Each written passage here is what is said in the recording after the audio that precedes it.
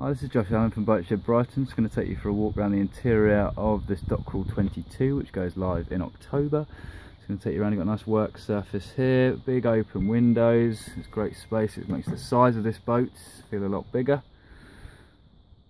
It's going to take you around now. You can see it's nicely decorated on the inside. It wouldn't need too much work doing unless you wanted to change it completely. You've got the salon table in the middle and just round to the starboard side of the boat you've got the head and a bit more storage room in the head. You can see this boat live and all our contact details on boatshedbrighton.com